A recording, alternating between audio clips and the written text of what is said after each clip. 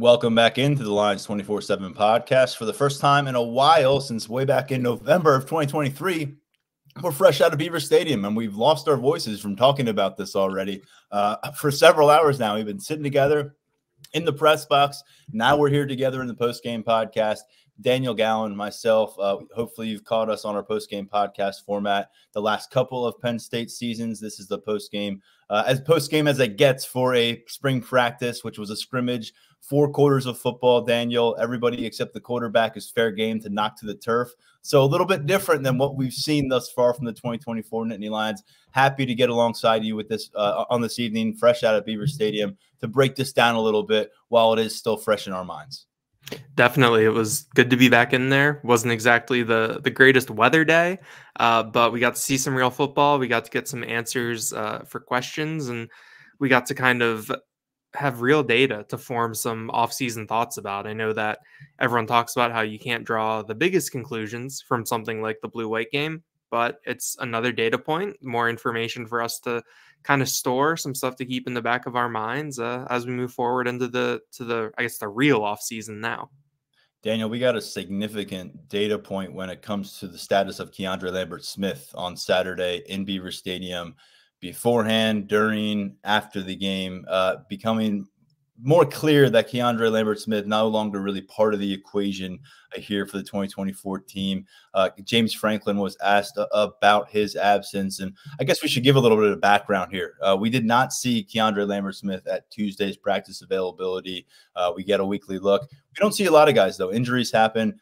But as the week goes on and conversations happen, and it becomes more clear that there's more to it than, than just a, a one practice situation with Keandre Lambert Smith, uh, ultimately, uh, on, on, Thursday evening, I believe it was uh, Matt Zenitz uh, from 24 7 Sports, who does a lot of our national uh, transfer portal coverage, reported out uh, that Keandre Lambert Smith was likely to enter the transfer portal. That window opens on Monday. It's going to be insane across college football. We've talked about that on the podcast.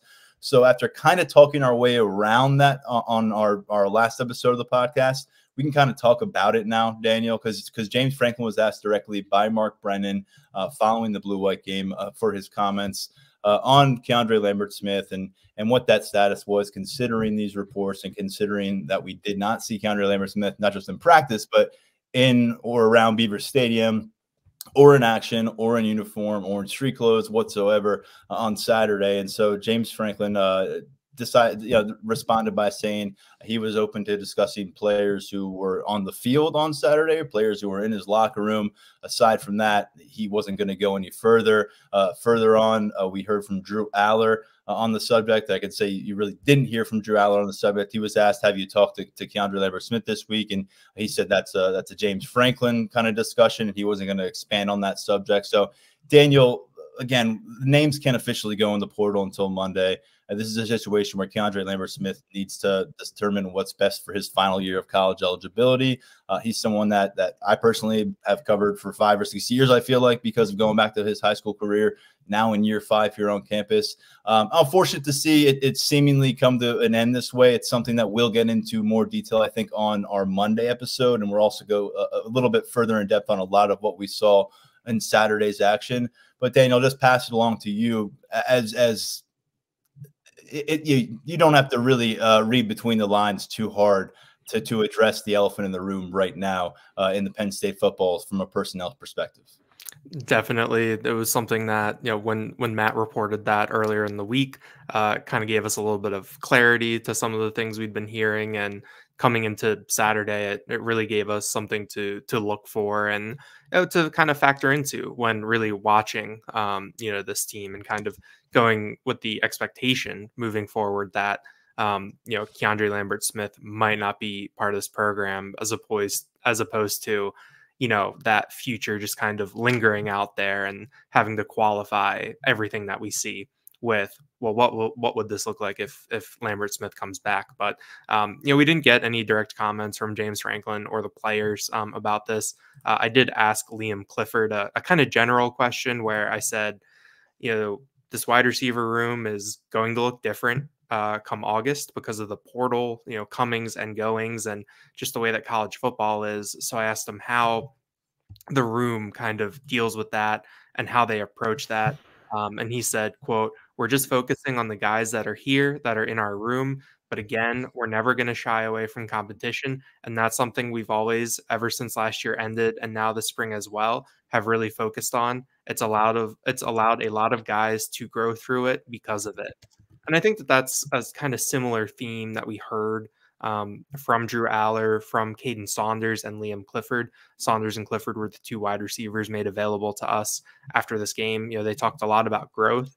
Um, they talked a lot about you know, their confidence uh, in in the development, how they're going to approach this offseason.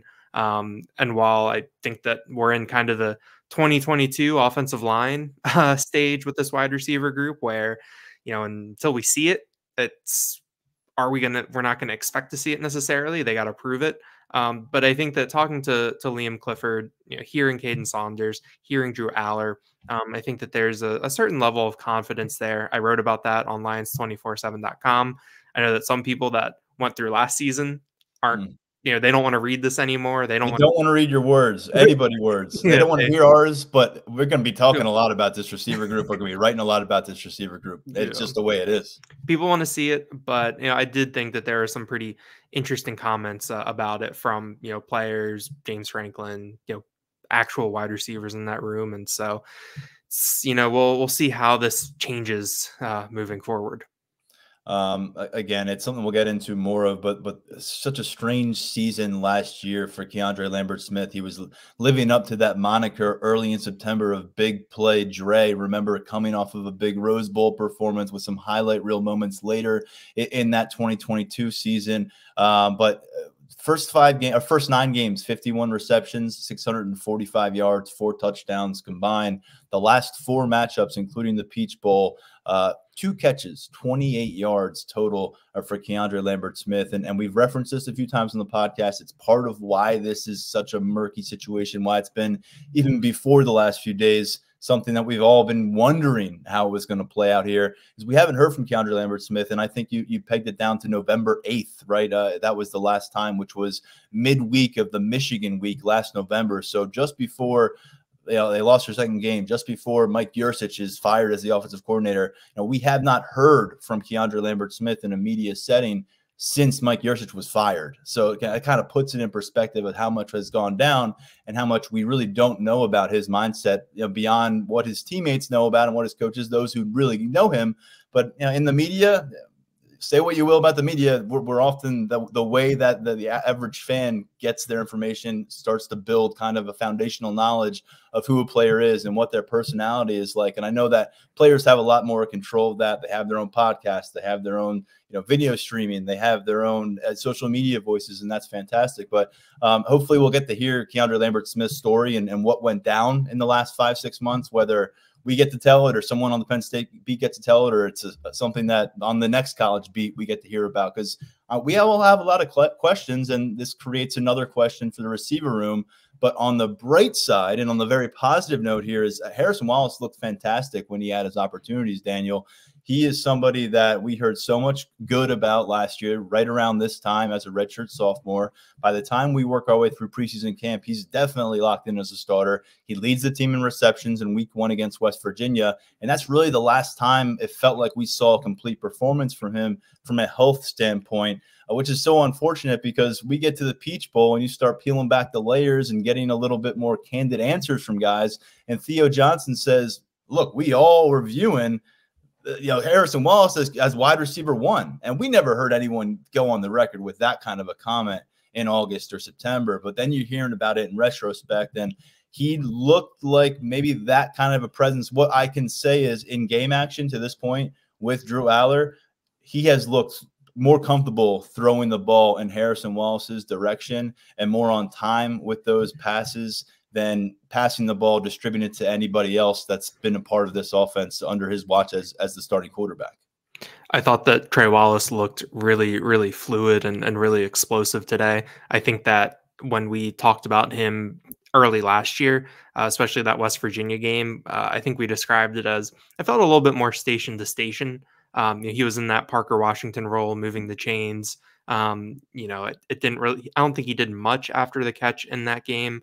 Um, but early in this game, you saw him you know, get out of a break, grab a ball, shed a, a Khalil Dinkins tackle, and get an 18 yard gain. He had that really nice catch along the sideline.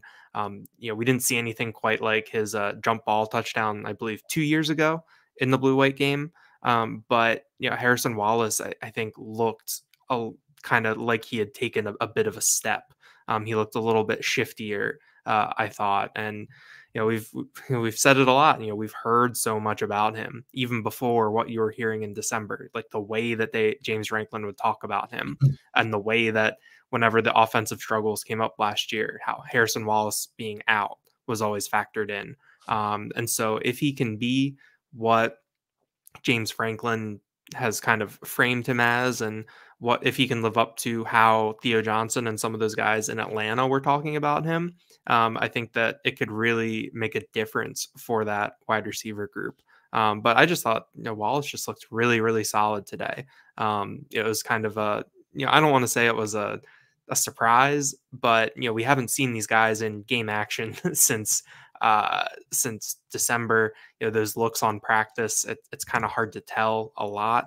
Um, but to see him with a defensive with a defensive back lined up across from him, what he was able to do, you know, five catches, 72 yards, uh, I came away being like, okay, yeah, this is something that I can see Penn State working with moving forward. So he had seven catches for 72 yards in the season opener last year against West Virginia. And then it, to close out the year in a game in which no receiver caught a pass until the fourth quarter, he actually finished that game against Ole Miss with four receptions for 67 yards and a touchdown. Um, and, that connection between him and, Allar, you know, shows up in a big way. We've heard about it from Drew, and I, I don't think we've had a ch- chance much lately to hear from Harrison Wallace about their relationship. But I know the comfort level between those guys just last year, uh, they got a lot of work in together when Harrison Wallace was still kind of waiting in the wings, and the same went for Drew Allar when you had Sean Clifford here on campus.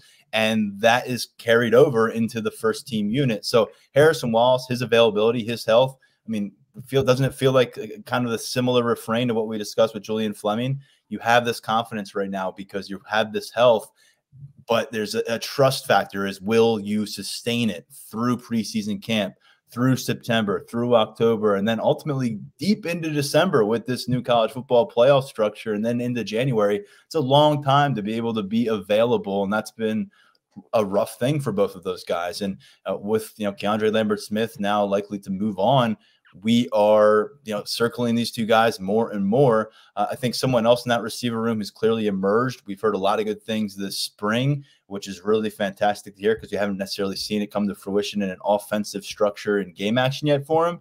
Kaden Saunders, former top 100 prospect from the 2022 class, Ohio native like Drew Allar. Those two got a chance to connect a few times as recruits in their home state. So there was some buzz about them coming to campus together. And we caught up with Kaden Saunders after this matchup.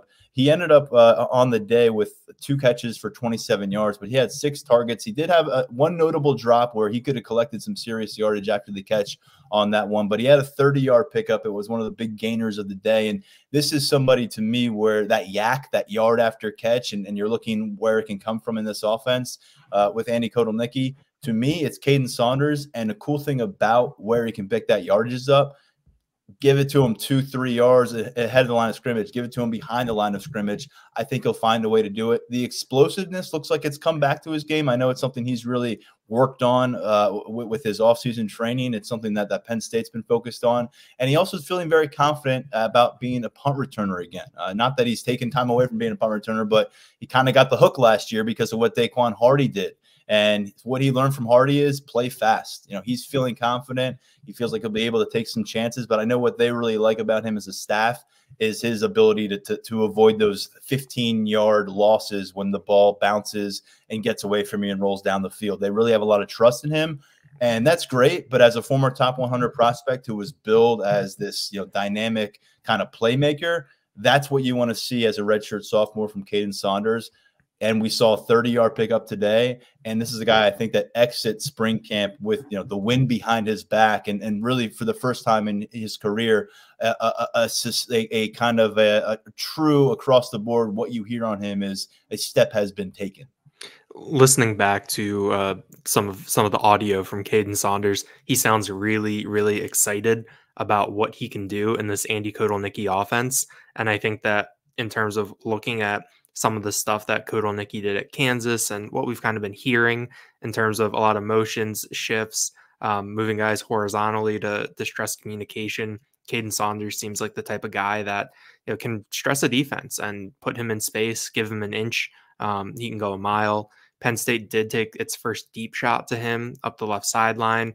Uh, Allar, Allar took the took the you know Allar said that he overthrew him on that one.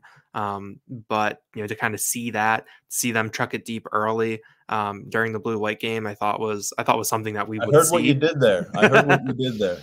Uh, and then and we got that. Um, but yeah, I think that Kaden Saunders is someone where you know we've kind of been waiting for that light to really go on. Um, it, you know, Liam Clifford said that he and Saunders have had some really really good competition over these past couple of years when they've both been in the slot. Um, so we'll see how this bears out. Um, you know, I think that Saunders is someone that just has that recruiting pedigree and um, seems to have his head on straight in terms of what he wants to accomplish. And I think that having the experience that he did during his first two years, I think has probably been pretty influential on, on how he approaches things here. So uh, we'll see what that looks like moving forward. But you know, he was someone else too today that he kind of came away with being like, okay, like I can I can see it uh, mm-hmm. right now. And it's also worth mentioning that uh, kind of how the teams were split up. Um, that even though a lot of the starters we expect to see uh, were on the white team, uh, which Kaden Saunders, Trey Wallace, uh, et cetera, were, were on, um, and there were some depth uh, pieces, depth defensive backs on the other side. Jalen Kimber and AJ Harris were the the first two corners out.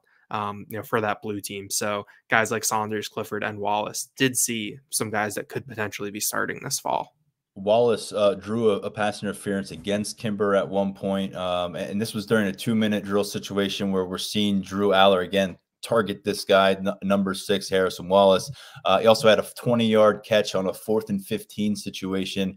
And and James Franklin was kind of reiterating a few things after the game. And I don't even know if I've mentioned the final score. That kind of shows that the context that, that we are viewing this. It's, it's truly kind of just the chance to see action on the field, a scrimmage action versus just seeing ball security drills and, and you know, individual positional drills like we typically do on a weekly basis. We appreciate the weekly look, but this is a, a true you know football sense of, uh, uh, of, of where Penn State is.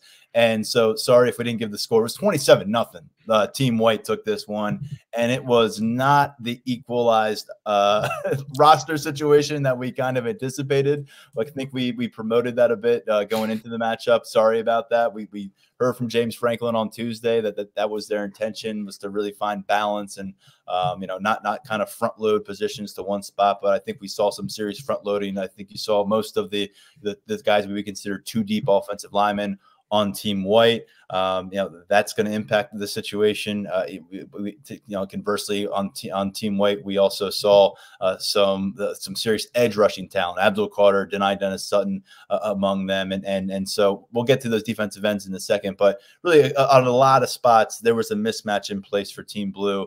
It was reflected in the final score, twenty-seven to nothing. But the reason I wanted to bring up the score, Daniel, as, as I get back to the, the, the first point here, uh, it was late in the game. It was 20 to nothing. And you're like, what, what is Team White doing? Are they pouring it on? Every rep matters. You're, you're trying to stack up at the squeeze the final remaining moments of your spring practice. These windows are so valuable for every coach. Every film rep is so important. Every opportunity to prove yourself uh, in a competitive atmosphere in, in front of a public setting is vital to a lot of these young players. So, you know, they're trying to work it like a two minute drill to get another touchdown drive.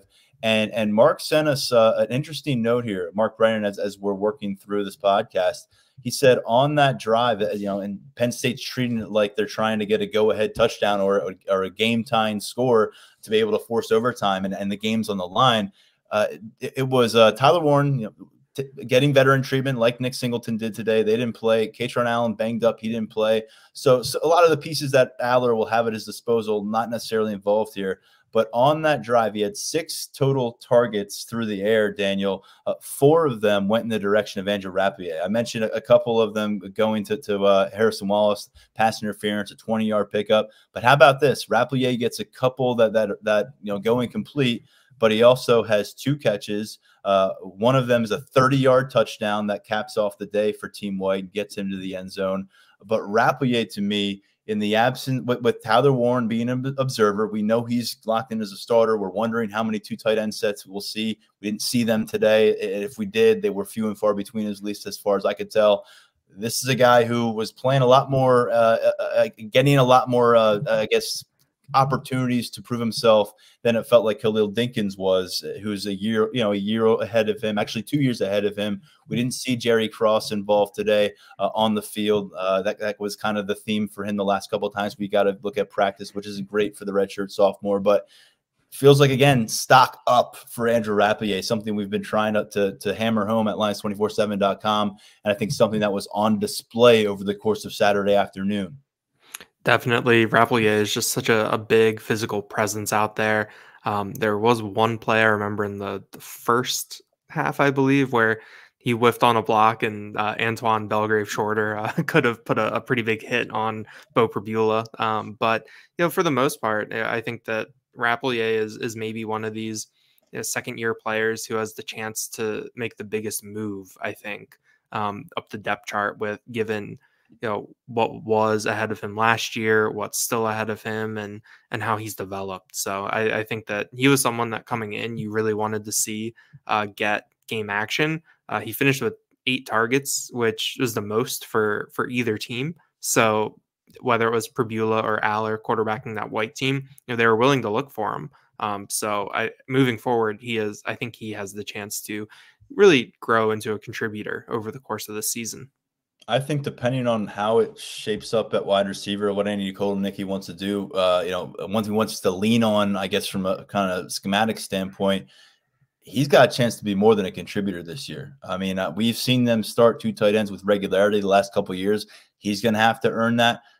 Khalil Dinkins isn't going down without a fight. Those wide receivers, that they want they want to have three of them out there from that group as often as possible. But I think he's physically there, and you see him when that ball's in his hand he he understands how to turn up field and, and, not just maybe you know run by some guys and he can he can run by some guys but he can he brings a physicality to the situation um, and and there's just a lot to like about what he could bring to their overall offensive plan next this upcoming fall and I think we saw a little bit of that. Um, we'll talk about the quarterbacks in a moment the guys who are actually getting the ball out and about but I think at running back you, we we understand why as of now the RB3 conversation really centers on two players redshirt freshman Cam Wallace, and then true freshman early enrollee Quinton Martin. London Montgomery may have had like the highlight run of the day. I think it was 11 yard scamper where he showed off some agility. Uh, other than that, pretty well contained. He wasn't running behind the alpha offensive line uh, uh, uh on the field there.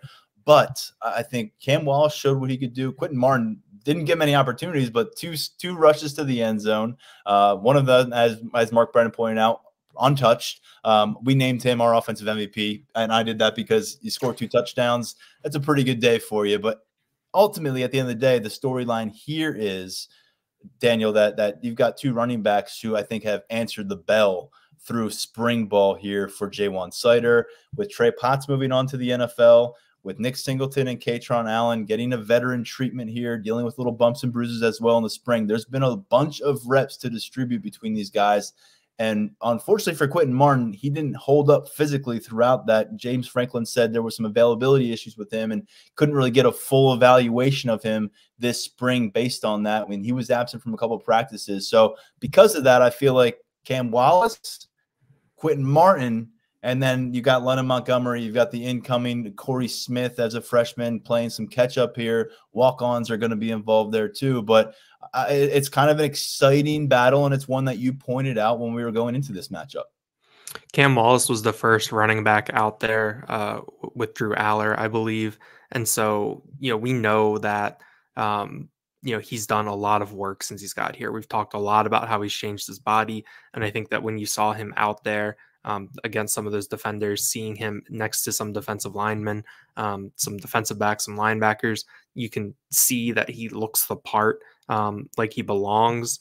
Uh, he did he had a nice six yard catch out of the backfield at one point um, and, and, just seems like a very kind of well-rounded running back um, at, at, this point in his career. Um, he's got, and he's got some power to him. I mean, we, we yeah. knew we knew the game. I mean, he went from what 175 to 200 in mm-hmm. the last year, and and you're seeing that reflected not in him being a slower version of his former self. he is a stronger version of his former self, and not necessarily a guy that that I would want to get in be- between the end zone with.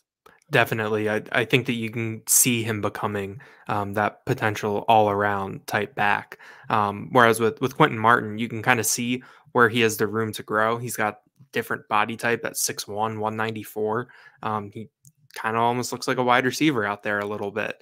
Um, and James Franklin has talked about how, um, I think it was Franklin talked about how Martin came in a little bit more raw than they were expecting. Um, but they've been able to to work with that and develop it. And I think for him to be in this position shows that. So, yeah, I think we didn't see, uh, but I mean, both of these guys have real potential to be Swiss Army knives for Andy Kotelnicki. Obviously, today was incredibly vanilla. Um, mm-hmm. You mentioned it. I don't think we saw anything other than 11 personnel uh, pretty much this entire time. It was just three wide receivers, one tight end, one running back um, for pretty much the entire day. Um, so, you know, we'll see how they can creatively use these guys. But I this number three running back competition is, I think it's going to be fun. And I think that if you get into the season and they feel like they can use four, I think they're going to use four um, just because of what they have, you know, keeping Nick Singleton and Kaytron Allen healthy um, and, and doing what's best for the team. I, I think it could be really, really fun on the ground. Uh, again, Quinton Martin, a couple touchdowns. We named him offensive MVP. I think there, there was a strong case to be made for Harrison Wallace. There's no doubt about that. That's what Mark was banging the table for. But the story was already published by the time he was banging the table. You, will hear from uh, him Monday. yes, Mark, Mark, can, Mark can state his case, and and I think we'll get over to the defense and, and we'll talk about some of the ins and outs there. We'll, we'll tell you who we ended up landing on MVP, and there was a little debate there as well. But let's go to the quarterbacks and and and, and you know the offensive line situation. Let's let's just kind of bridging the gap with what everyone was dealing with here. And no Anthony Donkoh, uh, which is you know a significant you know, absence because he's somebody that we've heard fantastic things about all spring practice and going back to Peach Bowl last year. We think he's going to be in a really good position to be the first right tackle out there uh, come kickoff against West Virginia. But so that meant Nolan Rucci got uh, got some significant run at right tackle, which is great. Uh, you want that. James Franklin was you know, referencing the fact that he got like a thousand reps this year because of the uh, Drew Shelton injury, and, and the reps had to go to somebody. Uh, J'ven Williams out there at left tackle, Vega uh, Vega Ioane at left guard. It was Cooper Cousins as the first right guard up. Uh, no Sal Wormley. He's someone who was missing from practice as well. He was present. Uh, I want to make you have to make all these things very clear with the transfer portal coming up. Sal Wormley was there, but he was not dressed uh, or he was not out there and involved in game action. So First off, your reaction to Cooper Cousins. Uh, I believe he had a false start in the very first play of the game. So, you know, welcome to the big leagues, big fella. Uh, Nick Dawkins alongside him at, at, at the center role. Um, our first chance to really see him be the first guy out there. What did you make of the offensive line as much as you can make of the offensive line today? Again, going up against a group of, of solid defensive linemen, but let's be honest, the second wave of Team Blue defensive linemen featured guys that we really don't expect to see much of come you know September, October, and in, in, the in the when the games really and getting the step up competition. So, uh, what did you make of what we got a chance to see, knowing full well that we want to see a little bit more on a game replay? I think that the blue team defensive lineman who flashed the most was Jameial Lyons, yes. which you know is one of those things that you look at and you're kind of like, okay, that checks out. Um, he had a couple good reps against the the left side of that uh, line. Uh, I think he got J'ven Williams uh, at least once. Um, but I, I, think that it, some of this goes back to Phil Trautwein, just a testament that he's done to recruiting and developing along that offensive line. I mean, you think about the guys who didn't suit up today Drew Shelton, JB Nelson, Sal Wormley, mm. Anthony Donkoh, or guys that suit up or, or didn't yeah. play. I mean, all four of those guys could start next year. Like you're starting five this against year. West this year. Yeah, our yeah. The, the starting five against West Virginia could be those four guys and Nick Dawkins. So, and the fact that what they rolled out there, you know, today wasn't, you know, it wasn't necessarily the, the highest level, but it also wasn't necessarily a group that come August, like if that was the first five out there, I wouldn't feel the worst about it um, because Nolan Rucci has experience. Um, Vega Ioane has a ton of experience. You still have Dawkins in there. We know where the arrow is pointing for Cooper Cousins. Um, you know, I think that the fact that Phil Trautwein has really, you know, put together a, a real kind of nine, 10 deep um, for his for his group, that is really really impressive. So I, I think that was kind of my first takeaway was mm-hmm. looking at who wasn't there and still seeing what was there and, and st- still feeling pretty good about it. Um, you know, I do think that J'ven Williams, you can you can see the skills there. You can see that they trust him. Um, there's a little bit of a of work in progress that's still there, I think. Um, but we heard some good things about him. You know, Dani Dennis Sutton um, earlier this week had some praise for J'ven Williams and the work that he's done. Um, but yeah, I'm I'm curious to see how this offensive line comes along. You know, I thought that they were solid today. You know, there's also the thing that you factor in where you know these quarterbacks aren't getting hit so maybe they're holding on to a ball longer than they normally would maybe they're not necessarily as being well we know that Beau Pribula is being as, as evasive as he normally is but maybe Drew Allar and Ethan Grunkemeyer aren't necessarily bailing from the pocket um, at pressure as, as quick as they would be to, to stand in there and, and try to get a throw in um, but you know looking at Cooper Cousins out there you know, it seems like that he's been playing for years. Just how he looks physically, standing next to Nick Dawkins and, and Nolan Rucci. Um, you know, I kind of liked what I saw from Rucci today. Gonna have to go back and see more. Um, I think that Ioane, I think, is probably going to be. I feel like Ioane and Dawkins are probably going to come out as big winners from the spring in terms of the amount of reps they've been able to get. Um, Ioane's so- a freak. You want like let's just establish that. Like we'll, we'll see where he is fundamentally, but this mm-hmm. guy's a freak, and, and Andy Kotelnicki likes to use linemen in different ways, like in motion before the snap. Yeah. And, and, but this guy is 345 ish pounds, and we saw him pull today and and go from left guard to pass protection on the right side is something I noticed. And and I, am sorry to uh, interrupt you there, oh, but I, I, saw that play and I, I forgot to like even mention it to you. I forgot to write it down, but he's a freak, and I just I'm excited to see what he can do. He had almost 700 snaps last year, but we had him on a call this week. You were on it with me, and uh, he's just somebody that sounds super confident and kind of establishing himself as a leader, which they need in that offensive line room. Uh, more guys, more voices, and uh, excited to see what's next for him. He's not coming off the field, but maybe Cooper Cousins is going to have a hard time coming off the field as well. Yeah, it's it, there's just a lot on that interior right now. You know, when you think of also about JB Nelson and Sal Wormley, um, you're you're gonna have to to maybe you have to figure it out. You know, it's kind of a Alex Birchmeier got a bunch of reps today. Like, like yes. these are all like we have all these guys we're talking about, and you went on for, for a longer time than, than I would have because uh, I'm, I'm, gonna I'm gonna kind of go James Franklin on this.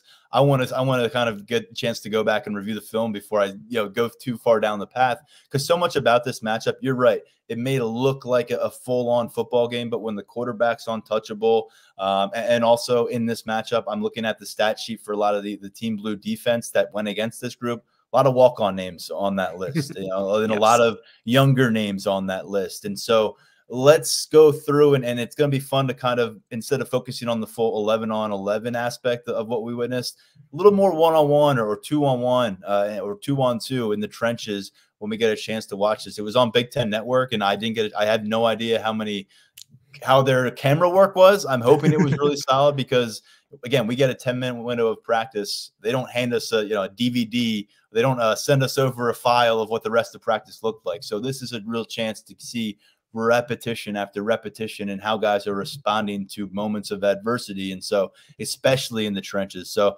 I think I'm personally okay with leaving it there with the offensive line conversation for now. But we saw a lot of guys involved, and it, will be cool to see what exactly Phil Trautwein does with his deck of cards when this team goes to West Virginia. And I've been saying it for a long time. I'm going to stand by it now not going to be surprised one bit if seven, maybe eight guys are involved in that offensive line by the end of the first half of that season opener.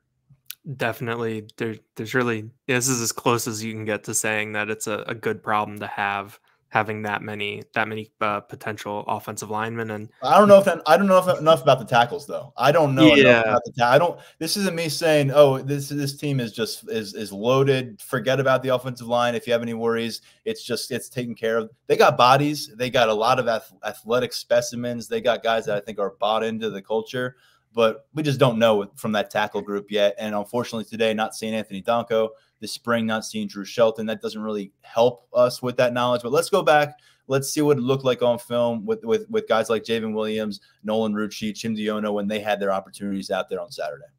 Yeah, it's bodies, potential, and varying amounts of experience.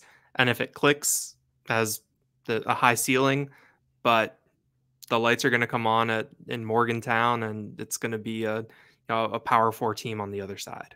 I know that the, the person who hopes that it works out the most for that offensive line is, is Drew Allar because because they're going to be really important to his health and his success as a junior quarterback. And uh, let's talk about the quarterbacks a little bit here before we dive into the situation on defense. And we'll preface it with this: this was about as windy of a condition as I felt walking into a, the, to the Beaver Stadium uh, game day atmosphere ever. I mean, whether it was a fall game, early fall, late fall, what have you, spring games in the past it was a sustained win. Now, my understanding was it's hard to tell from the press box was that it went from like that sustained insane win where the flags are straight to more of a gusty situation where it was just that you know you, you, were okay and then a huge gust would come through and it was settled down by the time we left Beaver Stadium later. But clearly that's going to impact what you can accomplish in the passing game, Daniel.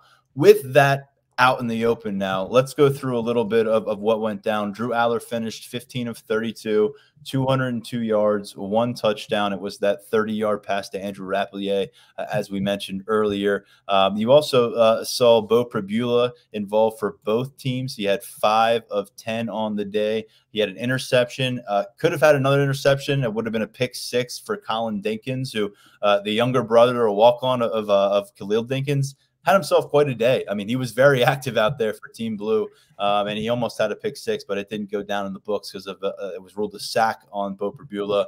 Ethan Grunkemeyer was four of eight, 11 yards. He had an interception as well. One of the a throw that he should not have put up there. It'll be a learning uh, a learning experience for him. It was intercepted by Amin Vanover, and then uh, Jack Lambert, who's a walk on member of the team, uh, threw one pass in, in this game. So Daniel, the stats are what the stats are. It's really hard to work your way through a stat sheet from a spring game and, and, and say this means a ton. But what did you make of the overall body of work you saw from these quarterbacks? How do you feel about the depth chart situation? And we'll mention this: Jackson Smolik ruled out for for uh, you know an indefinite period of time by James Franklin, confirming during spring ball that he suffered a significant injury. He was out there in pregame warmups throwing the ball, uh, was not moving his lower half of the body though. Uh, he was out there. He wasn't using crutches. He wasn't on a boot, but we noticed that there was some supportive stuff going on with his left leg. So we'll see what the process, the timeline looks for, like for him. We don't know if he'll be available available for this team in 2024 or not. So, with that caveat, what did you think? I, I thought that there was some room for growth. I, I think that you see it from Allar that you know, when he's really, really confident and when he is throwing to someone like Harrison Wallace, uh, you can really see that connection. You can really see um, him make some really, really impressive throws. Uh, at other times, it kind of looked like last year a little bit. Um, you know, at the same time, this is that setting, like we talked about in terms of, you know, how he's approaching things in terms of the pressure. It, we don't necessarily know what he's trying to accomplish on some of these plays where, um, you know, this is a practice setting where you might force something into coverage to try something um, or, or work on something. But yeah, I think that it was kind of a, a, similar Allar to the one that we saw in practice in terms of you know, looking a little bit more leaner, still really being able to sling it, um, and you and kind of showing off his ceiling a little bit. That I mean, if he if he'd hit on that one deep ball to Saunders, I think that that would have been a kind of a a real boost uh, to the day for for everyone there and kind of moving into like the, the missing highlight from the day for Penn State, right? Uh, this the, exactly. the deep ball connection running. Into, I know they had one with uh, Rappleyea, but you're right that that kind of that kind of a throw, that kind of an in stride mm-hmm. moment. I, I hear what you're saying. Yeah, and I think with Pribula, I think that it's kind of, it was also what we saw last year in terms of a lot of running and not necessarily a lot of throwing. And I think that you know, we talked about it that offensive line in front of him uh, was not the A team, and you know when Abdul Carter is essentially in the backfield by the time that you are taking that shotgun snap can make things a, a little bit difficult. Um, but I thought that you know the interception that Zakee Wheatley reeled in was a, a tough, tough to is just tough. Miscommunication. I think it's a miscommunication. That's another yeah. one where I go and watch the replay. I think yeah. it looked like maybe a, a downfield community, and we didn't even mention Julian Fleming. I, I believe that was intended yeah. for Julian Fleming. We people are like, did Julian is Julian Fleming on the team because you guys talk so much about him? Yes, he's on the team. Sorry, I just should mention him now before we don't. Daniel, he had mm-hmm. a, a one reception for five yards. He was involved early out there. I think he got overall pretty veteran treatment on the day. I don't think yeah. he had a high rep total. And and knock on wood here, got through spring ball healthy, and that's huge. You know, cleared a hurdle for himself. Talked about his self confidence being built, and we heard it after this game from Kaden Saunders. We've heard it all spring ball from coaches, from players on the record, off the record he has had an influence in this receiver room. He has emerged as a leader for this receiver room for the offensive unit. And I think by the time they play West Virginia, he's going to be viewed as a leader for this locker room. So look beyond the box score, Julian Fleming's impact, and look at the fact that he was unfortunately not paired with Drew Allar. That was one of those dynamics I'd hope we see. Uh, it became the Harrison Wallace and Drew Allar show, and Andrew Rappleyea becoming a, a, a, guy highly involved there. But we'll have to wait and see uh, until fall when it comes to Fleming and, and Allar hooking up in, in, Beaver Stadium. Yeah, I think Fleming got the modified veteran treatment, yes. where Tyler Warren and Nick Singleton got the true veteran treatment. Um, but yeah, I mean, I think that Allar and Pribula, I mean, you saw kind of the the areas for growth um, and you know kind of building on what we saw last year. Um, you know, Grunkemeyer, the ball still looks good coming out of his hands. He had a really tough decision uh, that led to the Amin Vanover interception. Yeah. Yeah, and it happens. You're a true freshman. You're you're a college freshman. True freshman and a fifth year senior. Uh, you know, and well, Vanover's downfield, but there's just you got a lot of traffic around you, a lot of veteran guys. Mills was the one crashing on that play, right? Tyrese Mills, who we saw involved in a line role. He's somewhere, he's been stuck somewhere in between safety and linebacker his whole career, and so this is probably the perfect role for him. yeah, yeah. I guess I guess we'll get to that in a little bit, but yeah, I mean, I think that it's hard to take too too much away. I think that quarterback is especially one of those positions where when people caution the amount of conclusions to draw from this. I think that that's kind of that's the approach I'm taking with that position. Yeah, and so uh, uh, let's face it, they didn't win over a lot of people when it comes to the passing attack today.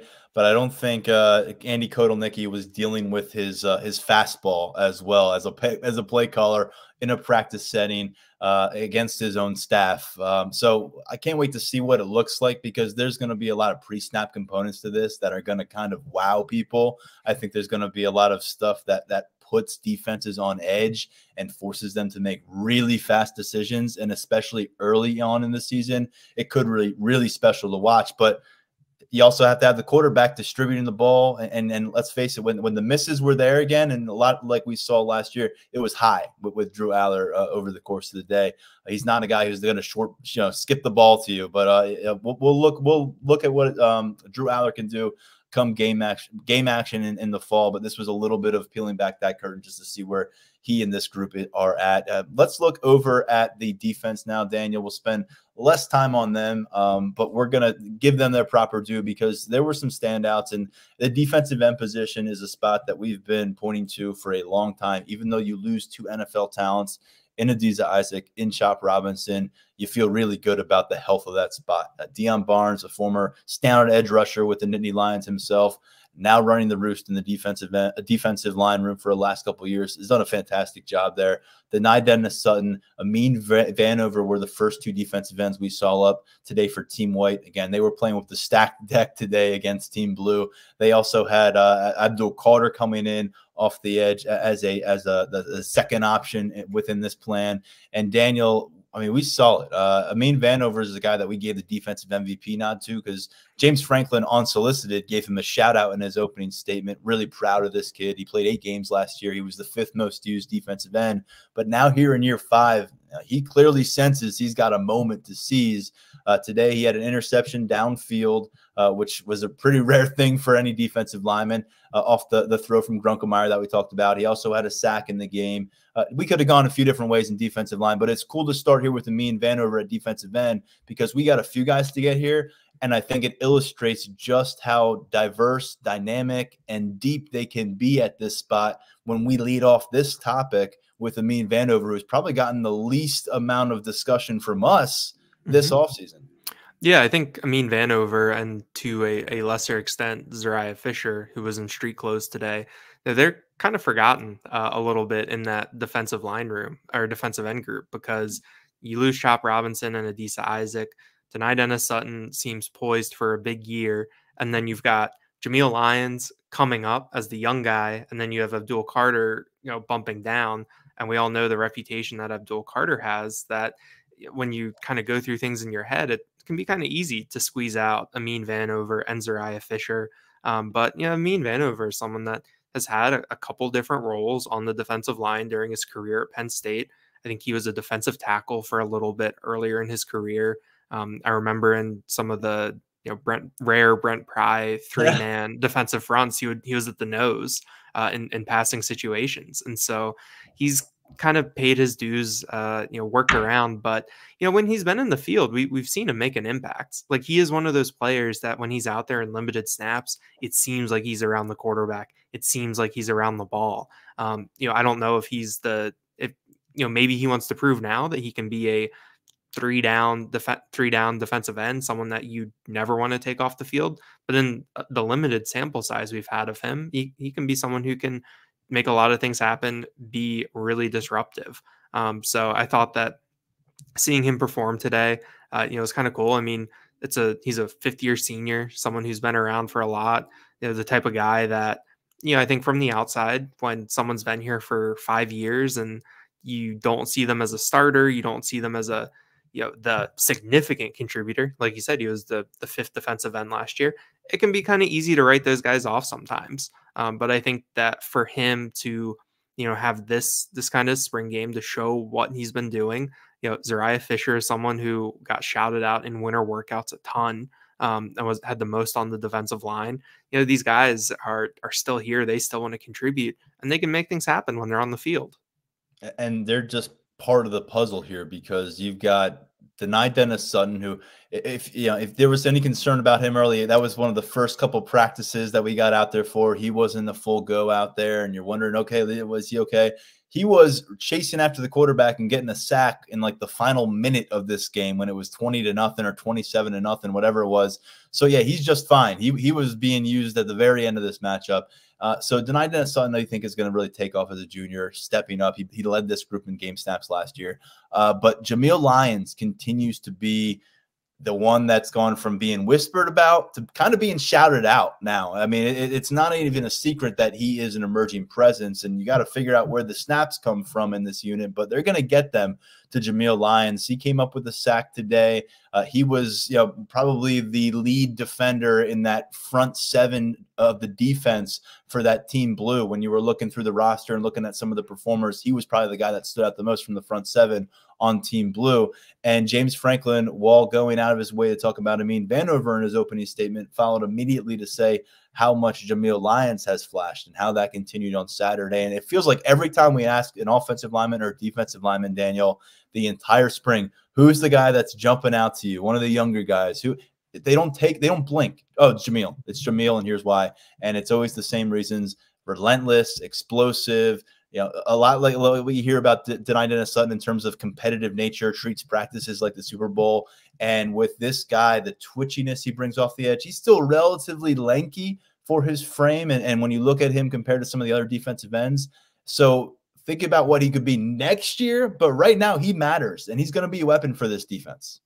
Abdul Carter had an interesting uh, quote about uh, about Jameial Lyons after the game. Uh, he was asked, you know, what what he's seen from him and and what Jameial can do on the field, and he said, "quote His effort really stands out. The plays away from him and his run to the ball is probably the best I've seen in a long time. His effort, his athleticism, his range, his bend. He's very athletic, and he's going to be real good for us. And I think that that tracks with the the feedback that we've been getting on Lyons, where you look at him and you can see the physical gifts um, in terms of how tall he is, how long he is. Um, I think that Chuck Losey last year gave some really good insight into how much bigger they think he can get and how strong Lyons is, despite having that lankier frame. Um, but that effort part, we hear that a lot. That it, it doesn't sound like that Jameial Lyons really leans on on those physical gifts. You know, they're there and they're going to put him in pos- in position, but he couples that with that effort, with you know putting in the work and like Abdul Carter says, you know, chasing down plays that are away from him. And those are the types of plays that can win you a game here and there, or save a touchdown, or you know, save a big gain late in a game, something like that. Um, so I think the feedback on Lyons you know, is one of the things that we like about the blue white game where the stuff that we hear, you know, mm. for these past five weeks and that we want to see at the blue white game, we got to see that with him today. Yeah, that translated and and Curtis Jacobs told me this winter that that he thinks this kid's going to be a first round pick in a future NFL draft down the road. Um, and I know a lot of people are starting to, to feel that he has that kind of potential along the way. I don't know how many snaps he'll get this season. We'll even get to 200 game snaps because of what they have at defensive end. And because, you know, it would be good if what we were talking about was what they had stockpile at defensive end, but you remember that you plucked an all Big Ten player from the linebacker room and plopped him over at defensive end now as well, and Abdul Carter. And that first step, that get off. I mean, I got a chance to see it a little bit at practice the other day, focused on on a, on a drill they were doing where they were simulating the snap, um, and, and and got to just really sense what it might look like. And now out there with pads, working against an offensive lineman, and you know, again, I think it was a walk on that he was dealing with at the time, but watching him go mano a mano in, in, some of these settings and and it was back to back plays. I think the first one you were like, was he offsides? And he may have been offsides. If he was, they didn't call it but he pressured the quarterback in that situation. Could have been a, a blow up kind of play in the backfield. And the very next play, he did deliver a sack, and he was just off the ball so quickly. Uh, Amin Vanover told me after the game that he thinks Abdul Carter has the fastest first step in America. And he said he felt that way about Chop Robinson last year. And if you hear and read some of what the NFL draft analysts in that industry is saying, there's a lot of sentiment to that. What, what Chop Robinson brought to the table last year. Uh, well, if you can get that from Abdul Carter, and we already know the kind of you know specimen he is and production that he provides, he had 12 sacks his first couple seasons at a different position. So I think we saw what we needed to see today from Abdul Carter for me to check off the list and say, yeah, I'm buying into what's going to happen for him at defensive end over the course of these next five, six, seven months when you go back and, and rewatch the game, you're going to be slowing it down to, to see if he was offsides or not. But yeah, I, I agree with you that we, saw that first step. We saw how dynamic he is. Um, I do think that it's going to be interesting what it looks like against when it's not Egan Boyer, um, you know, the, a 250 pound uh, left tackle, and it's against some of these real Big Ten offensive lines. But you know, Abdul Carter has shown that he can rush the passer. 11 sacks in his first two years. After the blue white game today, he said that one of the bigger adjustments is you don't get that downhill running start uh, anymore, that you're up and you're immediately engaged uh, with the offensive lineman. That first step can help mitigate that a little bit. But I think the, the thing with Abdul Carter that stands out, and I wrote about this in a piece Friday on Lions 24 7, really kind of looking at um, Carter's move from all angles, is that the the coachability part and his willingness to to learn I think really shines through. Two different players, uh, Zane Durant and Dvon Ellies, both called him a sponge. Uh, and those interviews were, I think, three weeks apart. Um, so that's the word that comes to people's mind when talking about Carter. Uh, and he talked about it today that you know any chance he gets, he's asking those other defensive ends in the room how to do something. Um, you know, he wants them to give him pointers on on what he needs to do better, how he can improve. And I think that's really, really big when you're dealing with a player that we already know has these natural gifts and these physical tools, and he's trying to refine those techniques. Um, I, I think that that's huge for Abdul Carter and his development at a at a new position because and we talked about it. James Franklin was he called it a different world moving down mm-hmm. there. Um, and last week we we heard him kind of open it up a little bit when it comes to the praise. So after a couple more months of working out this off season, getting those those fall practices in, I think Abdul Carter is positioning himself really, really well to be a big, big part of that pass rush. And how about this? I know we're in a, in a day and age where people kind of lament what's going on and they feel like players are getting selfish and, and they're not caring about the team. I mean, Abdul Carter is getting taken care of from an NIL perspective. Let's not let's not beat around the bush there. But you're talking about somebody who is maybe the most recognizable figure, probably nationally, on this defense.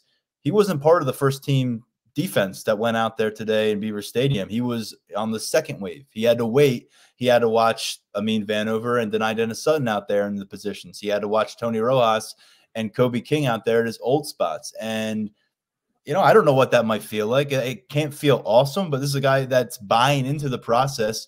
Clearly, he knew what he was investing in because this was his decision. And I know that they had some pretty detailed conversations about what his path would look like. And as I said, I think he is where he needs to be, if not further ahead of where he needs to be. You made a great point on the podcast a few days ago that James Franklin, from the get go in spring ball, the first time he really talked about this position move on the record cautioned everybody, including Abdul Carter, about what this might look like initially. Might not go from a first team All Big Ten linebacker to a first team uh, All Big Ten defensive end on day one, but he might just get there by the time this season wraps up and, and, and we get to December. He might just get there, Daniel. Uh, excited to see what it looks like. Let's go to the defensive backfield, finish up the conversation with, with a few more call outs and, and guys that we got to get to. And I think in terms of the safety spots, we've had so much conversation about what that position group could mean. KJ Winston uh, was not practicing today. Um, we've seen him out there during plenty of practices, leading that drill line often, but not available today. Again, one of 15 practices. They're not going to put any pressure on guys to be involved out there. We'll see plenty of KJ in the fall. But without him there, we, we got a sense of that King Mack is definitely next man up kind of territory. Appears that he was the next guy up. And we got our answer on, on what they feel about Jaylen Reed with that lion role he was living there for a lot of the afternoon when he was out there on the field. And then Zakee Wheatley naturally does something buzzy because that's all this guy does uh, every single offseason, it seems. And I think he's going to deliver in a big way come this autumn. But he came up with an interception that was about as easy of an interception that he's probably had on the practice field or in game action in his career. And so, safety room, while incomplete, we saw some pieces to the puzzle, and, and Dakaari Nelson got some action on the other side of, of things for Team Blue. But I think you're really starting to see what the initial two deep could look like, but also how these guys could be utilized as chess pieces. Yeah, and, and the wild card there is Ty- Tyrese Mills.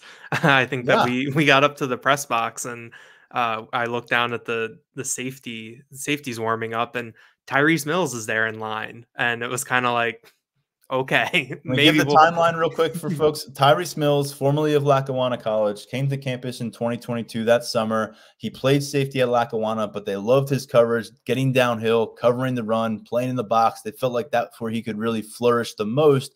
So he works at the Sam linebacker position in year one. Unfortunately, his year one ended in like mid August. He suffered an injury, out for the entire 22 season comes back refocused at safety to start 2020 uh where are we? 2023 uh by the time they get through last season we're at the peach bowl in atlanta. He seems to be running drill work with linebackers. Um, then he's officially listed as a linebacker uh, going into spring ball, and now we see him finish out spring ball at the at the safety spot.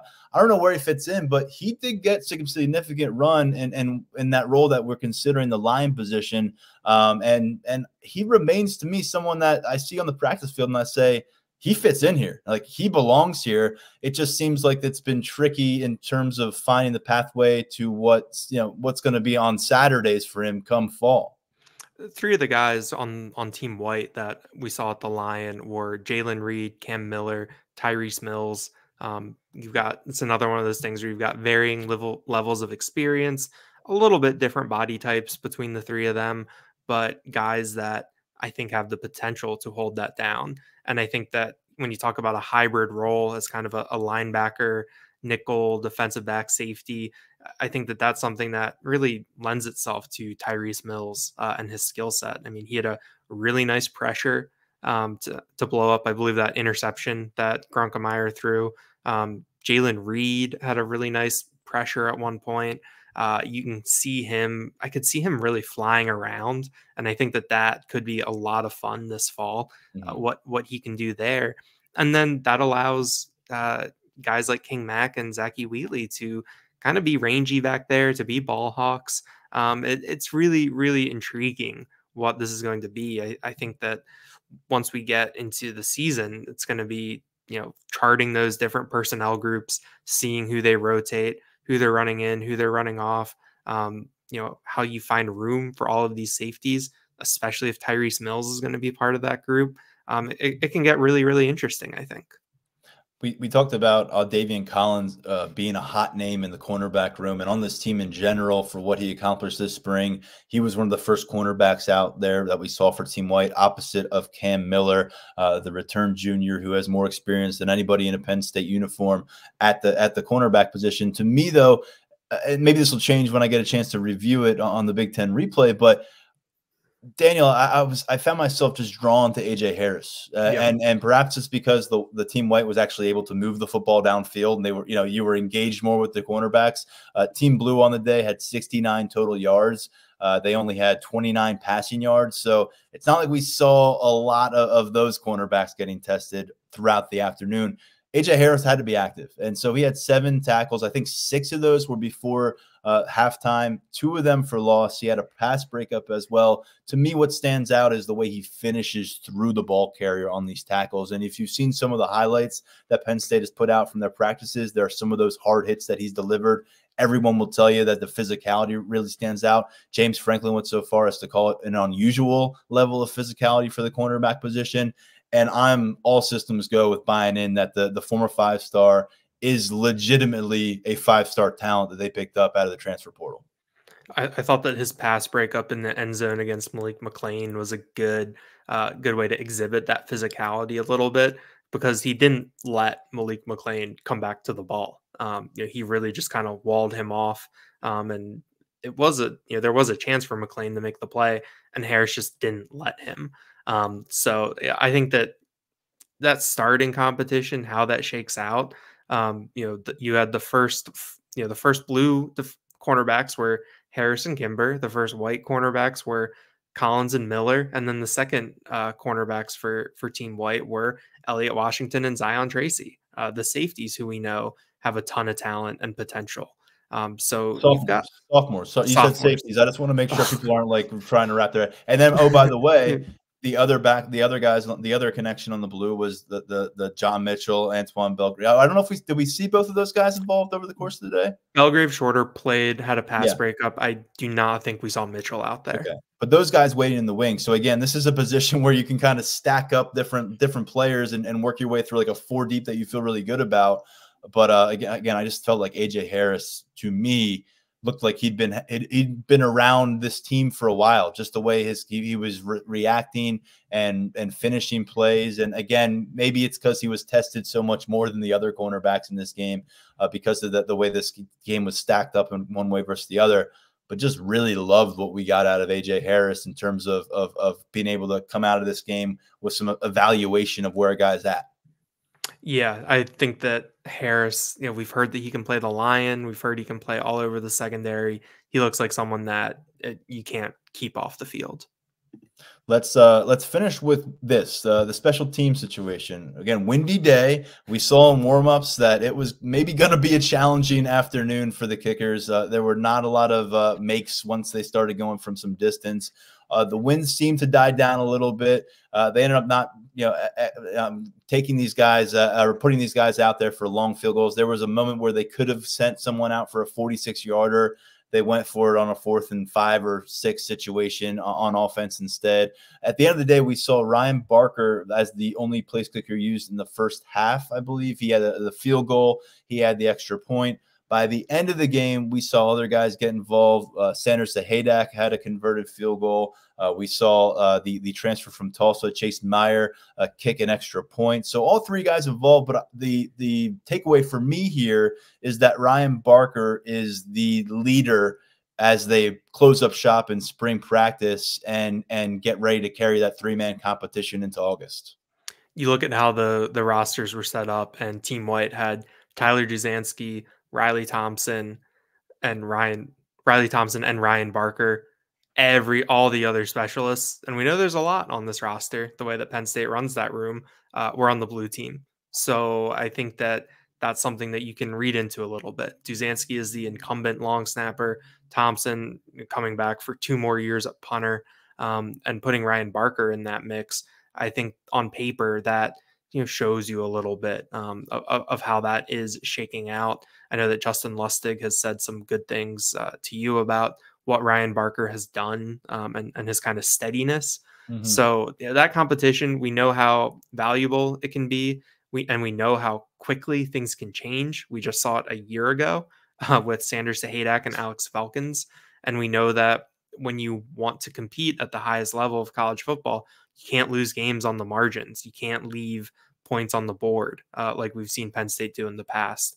Um, that competition, I assume, is going to stretch into August, uh, but I, I, think you can feel, and we didn't see too much today, obviously, but I think that Ryan Barker is, is a name to highlight there as we move forward.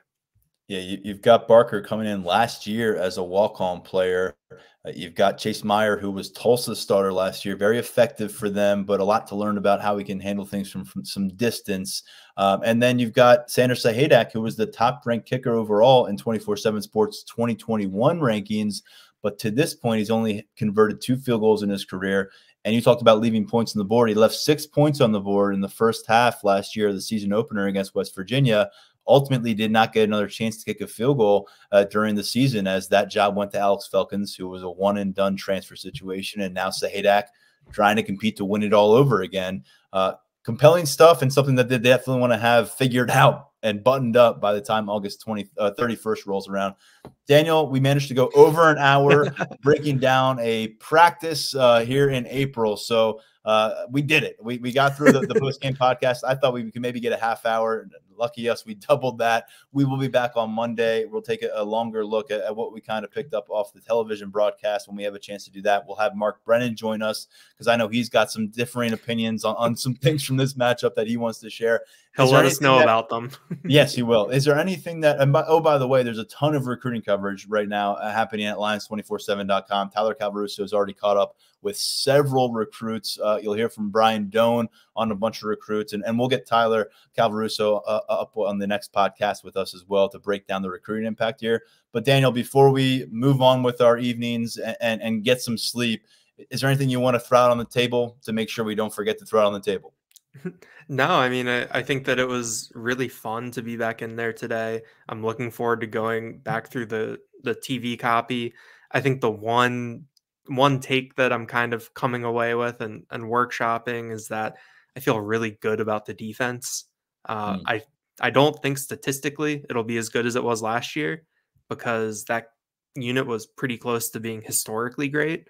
Um, but I do like what Penn State has, the different pieces that it has. You know, we'll see what everything looks like come August. We know that a lot can change, um, but you know, coming away from it, you know, I feel like I don't know how I don't think I'm going that far out on a limb, but I don't think there will be a significant drop off from what we saw last year.